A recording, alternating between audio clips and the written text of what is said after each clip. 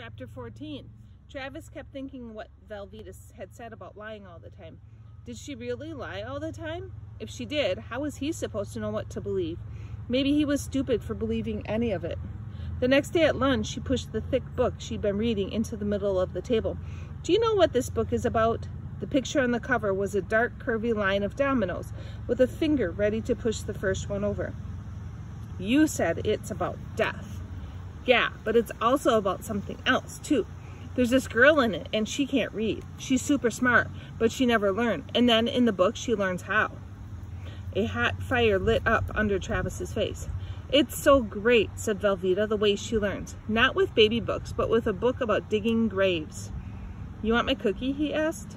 If only Bradley would show up. Where was he, anyway? You know that fax book you carry around? she asked. Are you circling words in there? I was just wondering, because the girl in here kind of reminds me of you. And that's what she's doing. So I wondered if that's what you're doing. Besides, McQueen is the one who made me start reading this book. He told you. Travis narrowed his eyes at McQueen over at the teacher's table. No, yelped Velveeta.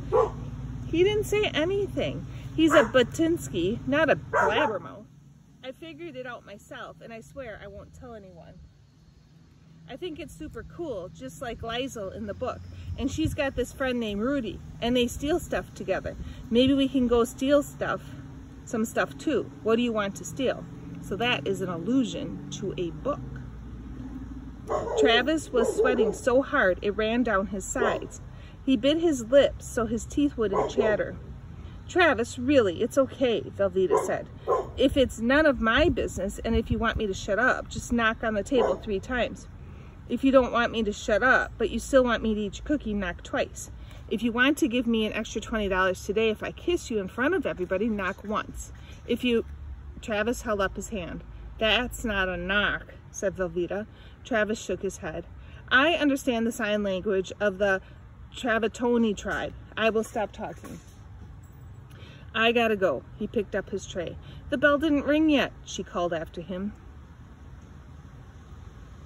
He hid out in the library for the rest of the lunch period, taking deep breaths to keep from freaking out. She knew.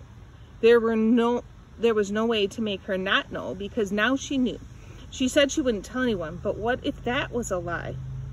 All afternoon he kept the fox with him. He circled words into the second chapter and went over his list of five words again and again, writing them on his palm with his finger, tracing them in deep. Velveeta came by his locker after school. Can I see the book? No, said Travis. Please? Travis put the book in his backpack, pulled on his jacket, and slammed his locker. Don't be mad, Velveeta followed him. I won't tell anyone, I swear, and I really do think it's cool. Yeah, but you lie all the time, remember? Velveeta stopped.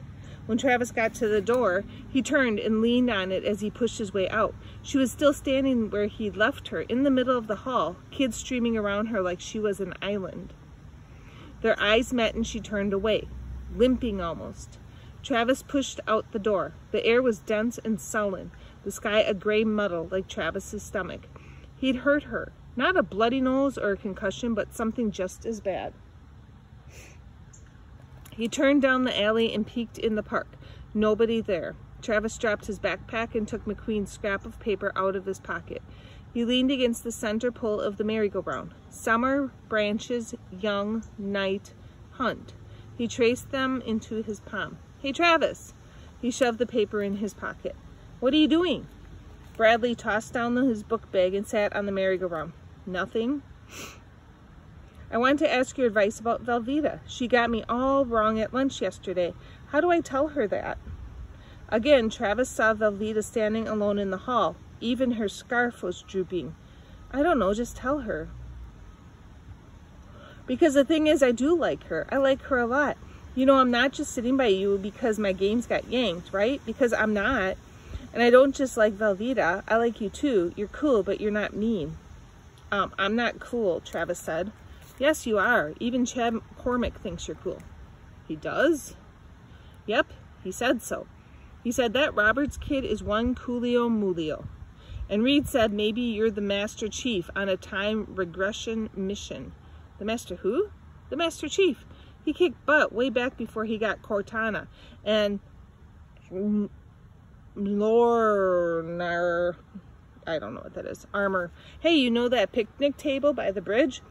Are there some guys there every afternoon? Sometimes, said Travis. Why?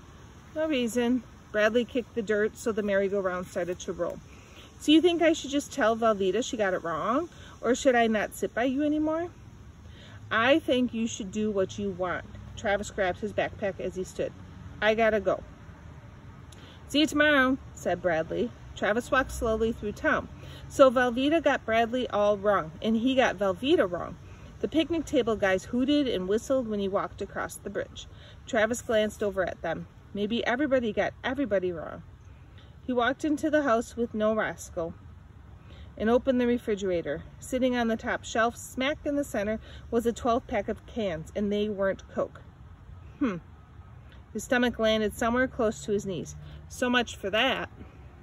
He took the fox book out on the back stoop. A moody wind thrashed through the yard.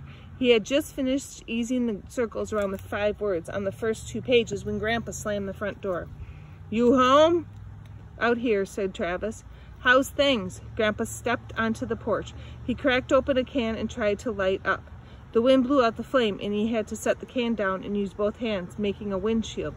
Learn anything new today?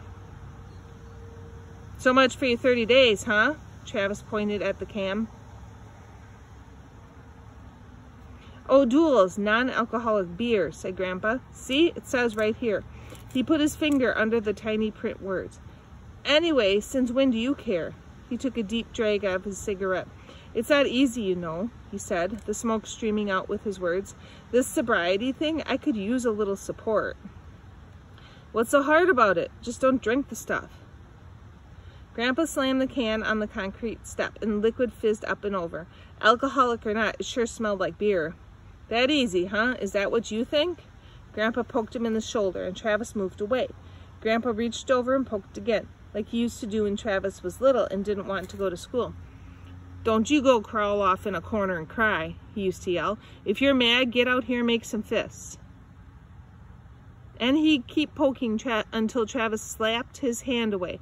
Then he'd laugh and poke again. The poking went on until Travis made real fists and swung hard. Then Grandpa would put up his palms and get Travis to slug them over and over, hard enough to make solid smacks. After that, he'd sling an arm around Travis's neck, and the three of them, Travis, Grandpa, and Roscoe would go out to the swamp. That was a long, long time ago. You think you got it so bad, said Grandpa. Boo-hoo, poor Travis. He poked again. Travis clenched his teeth hard. He picked up the book and stepped around Grandpa. I've got homework. He slammed the screen door on his way through, went into his tiny box of a bedroom, and shut the door. He circled words in chapter 2 until Grandpa went to bed. Then he made himself a piece of cheese toast for dinner. Velveeta on Thursday. I can't believe Travis thought I was lying about thinking it's cool that he learned to read. I wouldn't lie about something like that. Not ever. So that's his secret, not dying of leukemia. I want us to be friends like Liesl and Rudy in The Book Thief. Only now I'm not sure if we get to be any kind of friends at all. He didn't want his secret busted. I should have kept my mouth shut. I still can't believe he thought I was lying, though. Ouch. Later, the Madre came, banging on the door while I was writing. Oh, he jumped away. And just about scared me out of my skin.